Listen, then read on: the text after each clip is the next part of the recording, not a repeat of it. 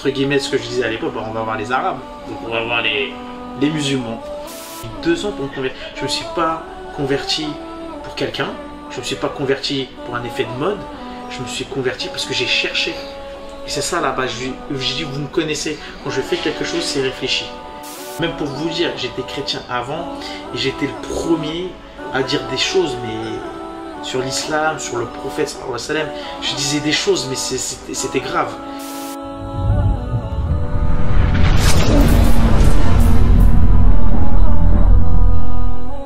Donc salam alaikum Kevin. Salam.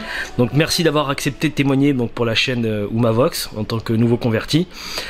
Raconte-nous ton histoire, d'où tu viens, comment tu as connu l'islam, quelle réflexion ça t'a fait faire, et à la fin, euh, voilà, comment tu t'es converti et depuis qu'est-ce qui a changé?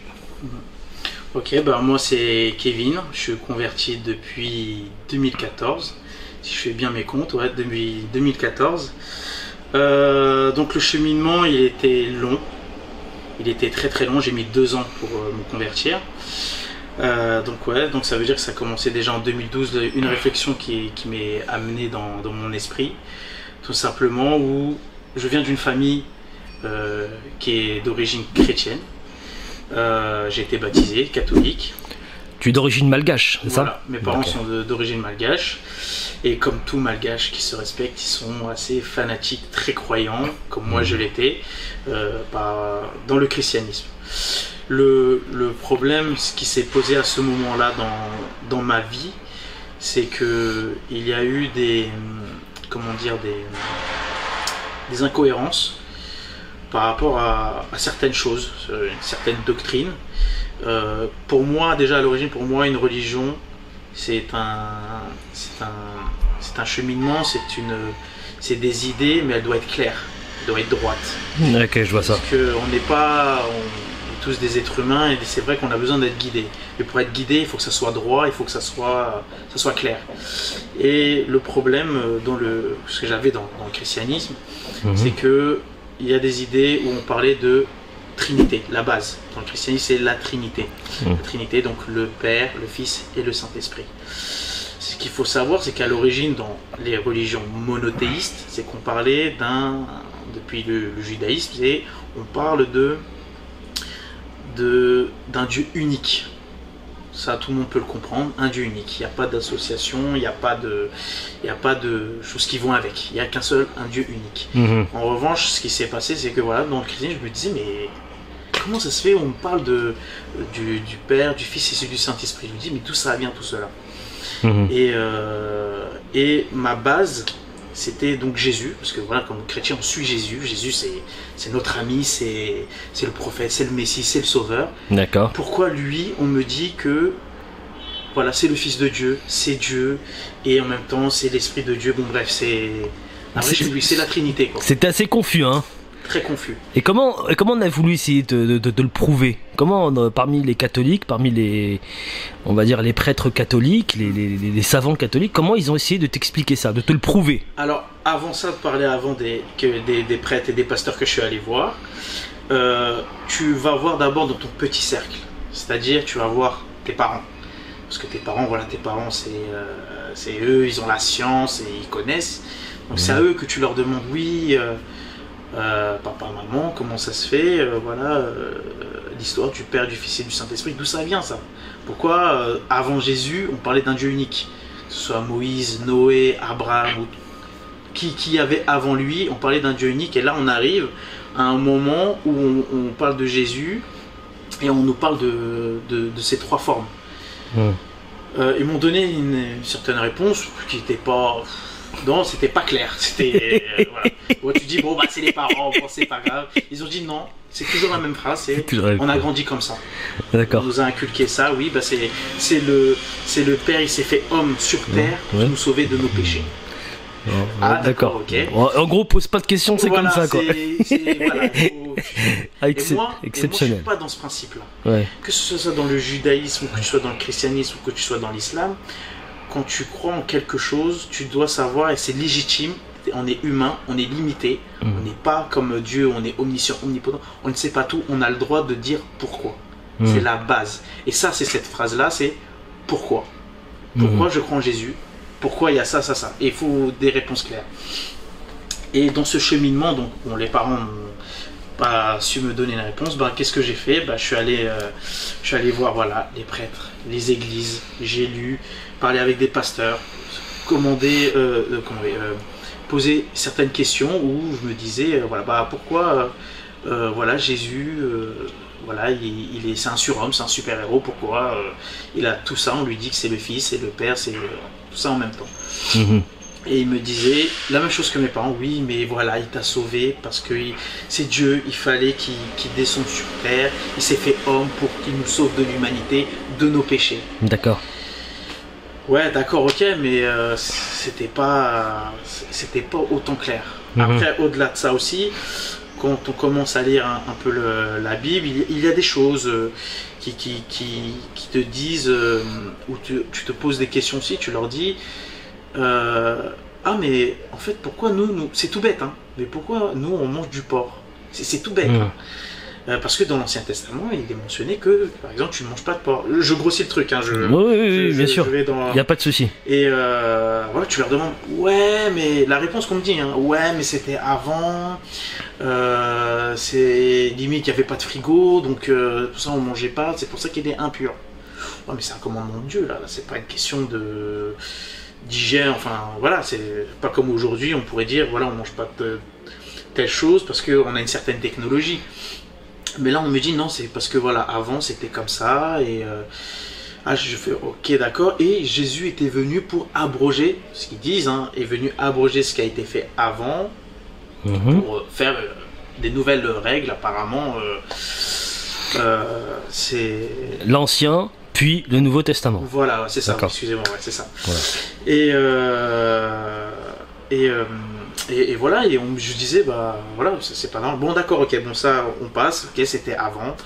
Euh, on parlait aussi de, je voyais la prière, ce qui était une Mhm. similitude avec, avec les musulmans qu'on voyait, mais voilà, l'islam pour moi, c'était vraiment loin. C'était vraiment. Ouais. euh, c'était. Il faut pas calculer, euh, Mhm. mais ça, c'est. C'est aussi encore une doctrine et des idées qui ont été inculquées avant. Voilà, les, les musulmans, c'est les arabes, Mhm. c'est là-bas. Nous, on n'a Ouais, rien à voir.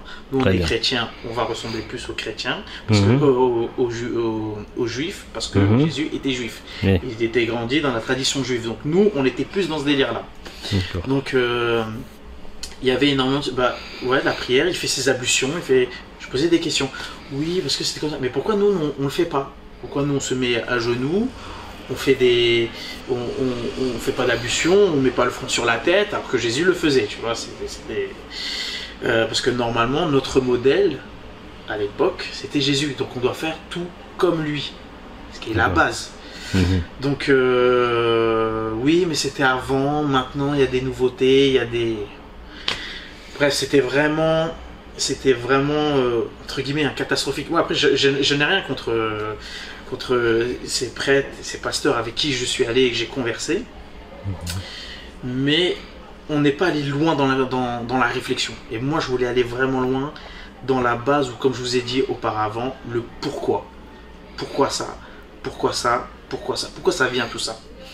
Eh ben, la religion on a mis de côté, on s'est intéressé, on s'est intéressé à l'histoire des religions. Donc, comment le christianisme est arrivé. C'est par de là que j'ai commencé plus profondément à voir un peu. euh, eh ben, il s'avère que j'ai vu des choses où, euh, par exemple, l'histoire de la Trinité. euh, voilà, pour pas aller trop dans les détails, c'était, on appelle ça, voilà, des, païens qui ont infi- s'est infil- qui infiltré la religion chrétienne et qui ont inventé certaines choses.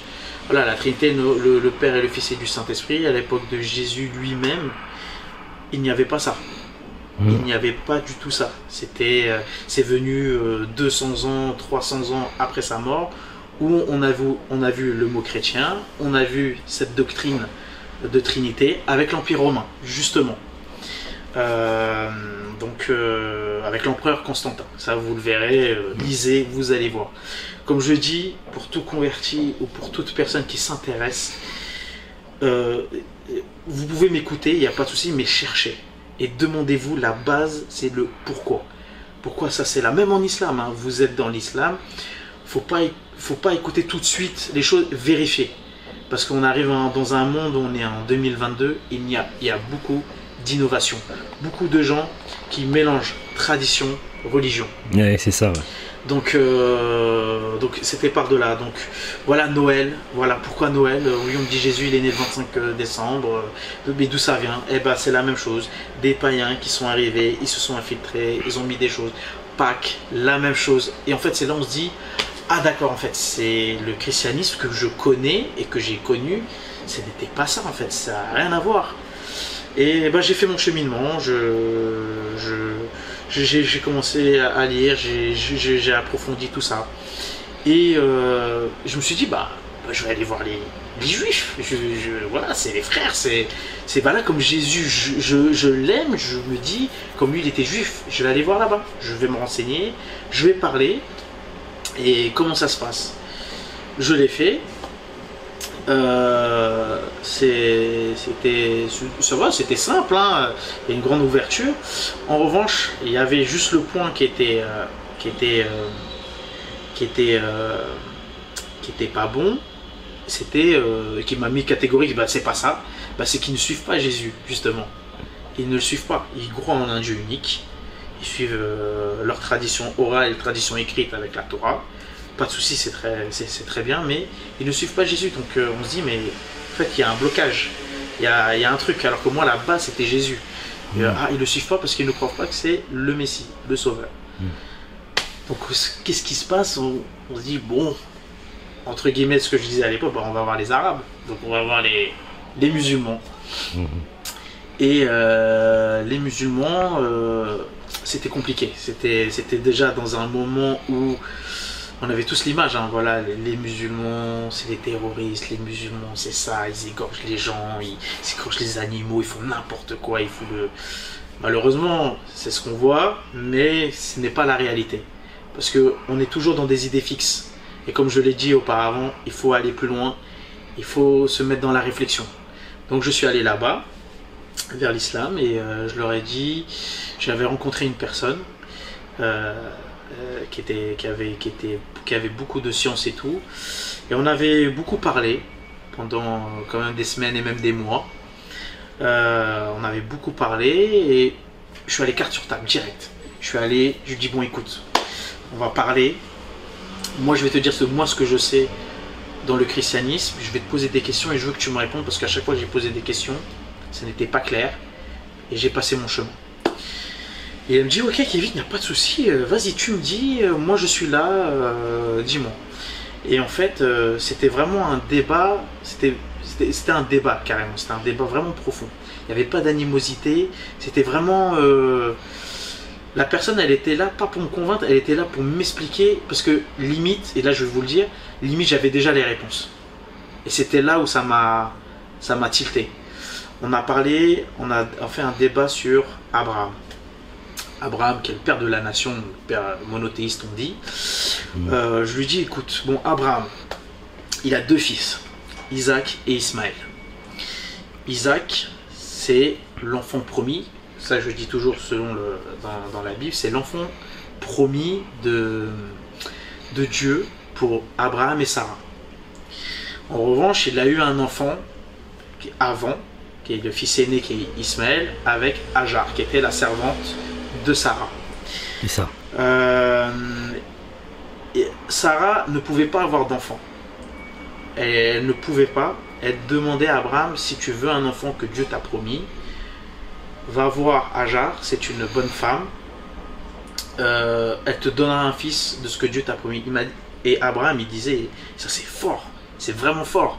Mhm. Il te dit non, c'est toi que j'aime, j'ai confiance en mon Dieu, je sais qu'il m'a promis un enfant et ça sera avec toi. Mhm. Et elle disait non, vas-y, je te l'autorise, c'est dans nos traditions, tu as le droit, tu peux. C'est ce qui s'est passé, Ismaël est arrivé. Quelques temps après, des années après, Isaac est arrivé.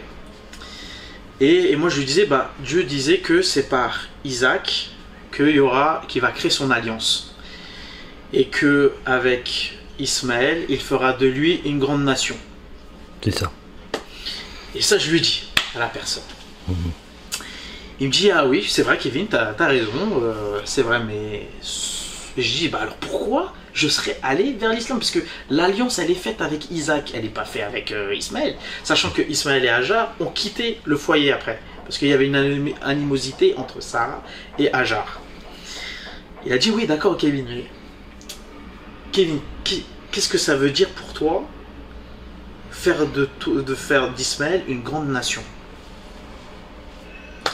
Je suis là, je dis, bah une grande nation, c'est qu'il y a du, et du monde quoi. Il y aura du people, il y aura des gens qui vont suivre euh, hmm. Ismaël. Ça sera vraiment une grande. Euh, ouais, mais ça te, ça te dit rien ça euh, Une grande nation, c'est. je sais pas. Je, je... Il fait, regarde, Isaac, il a fait l'alliance. L'alliance qui a découlé de Isaac, tous les prophètes qui sont descendus jusqu'à Jésus, c'est les c'était les c'était les, les, descendants c'était les juifs entre mhm. guillemets la grande nation forcément ça va être une plus grande plus grande masse ça serait pour l'humanité j'ai fait euh, il, me fait tilter il fait ouais mais j'étais pas convaincu mais je, réfléchissais et euh, et je fais attends j'ai une deuxième question dans, le Nouveau Testament, il y a Jésus. Vous allez voir, c'est très très vite, mais c'est, moi, je me dis des fois j'étais bête. Jésus, il disait euh, à un moment donné dans Jean, il avait fait une réunion avec ses amis, enfin les apôtres, Pierre et compagnie, et il disait euh, Bon, messieurs, je dois partir, parce que je dois partir parce qu'il y a quelqu'un qui doit arriver. Et si je ne pars pas, il ne viendra pas. Et les autres, ils disent, mais c'est qui? Il dit, ça sera le consolateur, ce qui est écrit, c'est le consolateur.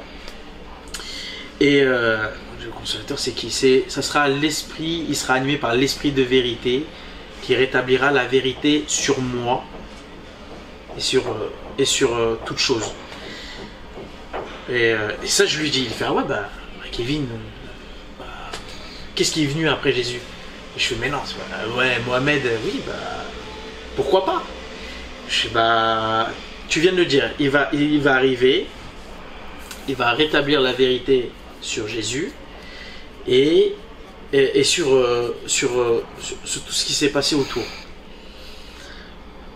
Ah, je fais ok, sachant que les musulmans croient Jésus c'est le Messie et que il va sauver entre guillemets euh, l'humanité que les chrétiens croient aussi. Hein, vous voyez, donc euh, je fais ah ouais, d'accord, ok. Et là, ça m'a fait. Euh, je sais bah oui, Kevin, Et en fait, tout le cheminement que j'ai fait, que c'est tout bête, quand je dis le port, le voile, on parle de la prière, des ablutions, la circoncision, tout ça. Je dis ah mais ouais, c'est vrai qu'il y a des similitudes avec l'islam, mais c'est et et dans la finalité, je me dis, ah oui, d'accord. Et dans l'islam, et c'est là que j'ai vu qu'il y avait une différence, et que non seulement par rapport au Messie, donc avec Jésus, mais on fait vraiment attention sur l'idée qu'il y a un Dieu unique, sans associé. Et je pense que tout être humain, au fond de lui, même une personne athée, il, au fond de lui, il sait qu'il y a une puissance supérieure, mais il y a, voilà, c'est unique et, ça, je pense qu'on le ressent tous. Et c'est moi, je pense, c'était ça à la base. Il y avait le pourquoi, mais le pourquoi venait du je sais qu'au fond de moi, il y a un Dieu unique, sans associé. C'est là où j'ai dit oui, bah oui, c'est vrai, c'est c'est ça, c'est c'est ça doit être ça. En islam, on appelle ça tout simplement le tawhid. Tout à fait, c'est ça. C'est je n'ai pas trouvé ça dans le christianisme où je me sentais mal. Je me sentais mal, mais bah oui, parce qu'on fait de l'association. Les gens pourront dire ce qu'ils veulent, mais techniquement, si tu me dis qu'il y a le Père, le Fils et le Saint-Esprit, tu rentres dans l'association. Alors qu'avant, on disait toujours un Dieu unique. Tous les prophètes, avant, depuis Adam, parlaient toujours d'un Dieu unique. Quand ils priaient, euh, c'était un unique. Et même, je vais aller plus loin. Jésus, il avait transmis une prière pour tous les chrétiens qui, qui le qui, le récite aujourd'hui, que je la connais encore. Notre Père qui est aux cieux, que ton nom soit sanctifié, que ton règne vienne, que ta volonté soit. Notre Père, il prie, donc le Père qui est aux cieux, il n'y a pas de prière sur lui, il n'a pas délivré, il n'a pas. Voilà, il a sorti où on voit que oui, on parle d'un Dieu, on parle d'un Dieu unique, on, prie pour un Dieu, on ne prie pas pour. Euh, donc euh, voilà, c'est par delà que euh, j'ai fait la réflexion et un jour j'ai fait bah je vais me convertir. Et, voilà, aujourd'hui, bah, je suis musulman, alhamdulillah. Hmm, d'accord. Donc voilà, voilà. Comment, euh, du coup, euh, la clé de voûte de ta croyance, en fait, c'est l'unicité de Dieu. La base. La base. Je le sentais au fond de moi, et ça je le dis, hein, au fond de toute personne humaine, au fond de lui, il le sait même inconscient, il le sait, il y a un Dieu unique. Soit il a le cœur fermé, il a le cœur lourd, il, est, il a de l'orgueil, il veut pas savoir, mais il le sait au fond de lui, ou soit ceux qui sont, je pense, hein, qui sont ancrés dans une euh, voilà certaine religion. Moi, je, ne fais pas là parce que j'étais comme ça avant. Et en plus, même pour vous dire, j'étais chrétien avant et j'étais le premier à dire des choses, mais sur l'islam, sur le prophète, sallam, je disais des choses, mais c'était grave. Mais, euh, mais voilà, il faut le pourquoi. Pourquoi on fait telle chose? Pourquoi on fait ça? Et même en islam, pourquoi on fait ça? Pourquoi on doit prier? Ça veut dire quoi prier? Marque d'adoration. Ok, mais pourquoi on fait de telle façon, telle façon Il y a plein de choses. On a toute une vie pour euh, faire des réflexions. entre guillemets, on a le temps. C'est ce que je dis, hein, mais voilà. Mais la base, je pense que tout être humain doit se faire et c'est légitime. On doit se dire pourquoi. Faut mmh. pas, faut pas se dire ouais c'est la tradition, c'est mes parents ils m'ont dit ça, ils m'ont dit ça, ça nous a inculqué ça. Non, faut se dire pourquoi parce que eux-mêmes ça se trouve ils sont dans l'erreur. Mmh. La base c'est le pourquoi.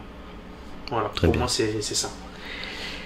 Et donc toutes les réponses aux, questions que tu t'es posées, en fait, tu, les as toutes trouvées dans le Coran, quoi. C'est ça, dans le Coran. C'est, c'est, entre guillemets, c'est bête, mais oui, c'est ça, sur l'unicité.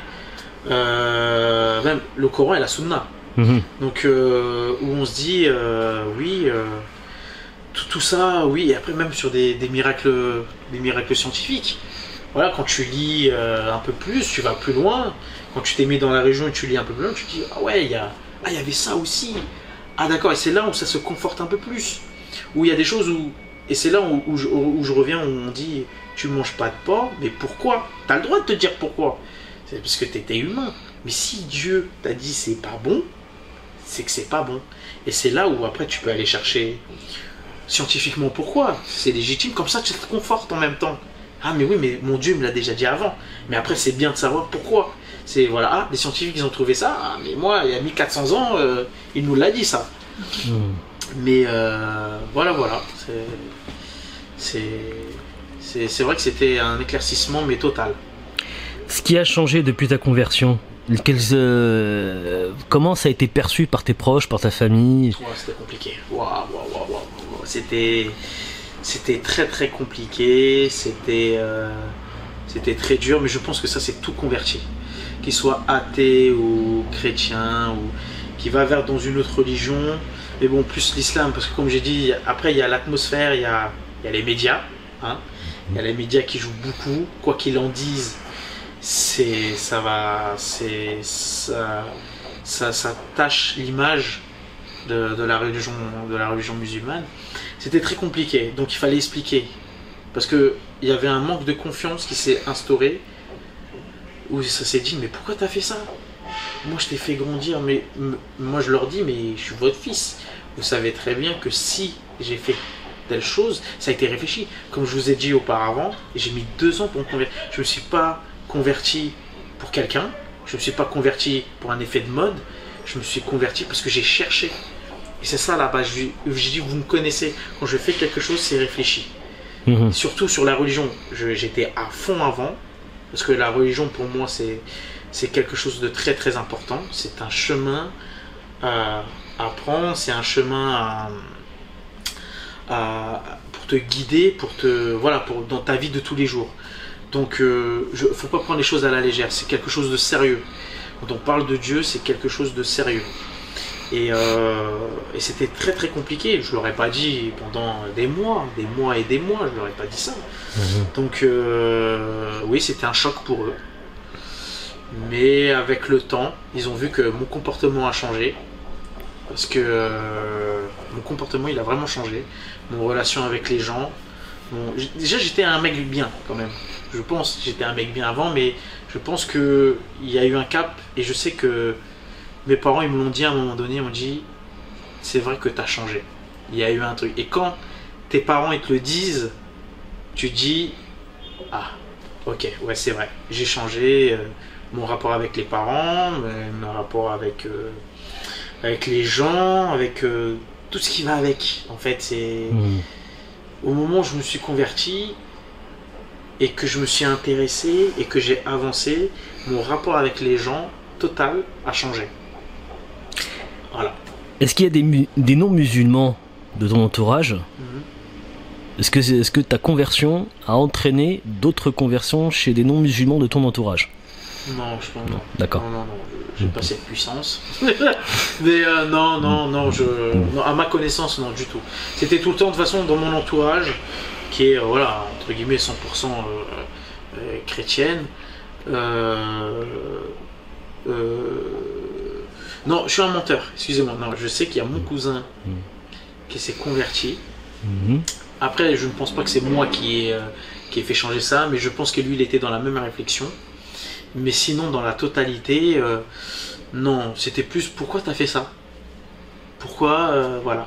C'est chaud, c'est bizarre, voilà. Après, on explique, dans le calme, tranquillou. Et voilà, c'est plus le pourquoi t'as fait ça?